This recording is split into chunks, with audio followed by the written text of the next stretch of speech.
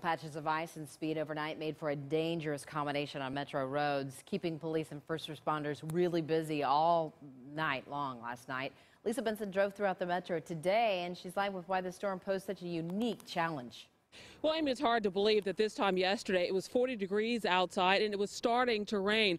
Right now it is well below freezing, which has caused a lot of problems on the roadways.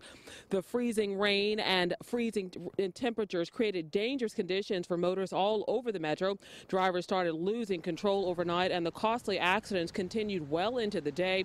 In Raytown, a driver crashed into a police cruiser as the officer assisted a stranded motorist. Another driver lost control near 23rd Street and ended up stuck in the ditch. MoDOT's first responders are out in full force helping drivers. Extremely busy. Uh, like you said, it initially came in as some rain and then it switched over to freezing rain and sleet before ending up as snow. So crews ran at 7 p.m. and they worked continuously throughout the night. Kansas City Scout cameras are manned around the clock and they call in extra staff for weather events. If they see an accident, they do alert police and MoDOT street crews to help out. They tell us a lot of these accidents could be avoided if drivers would simply slow down. So here's your reminder, slow down if you're heading out tonight. Reporting live, Lisa Benson, 41 Action News.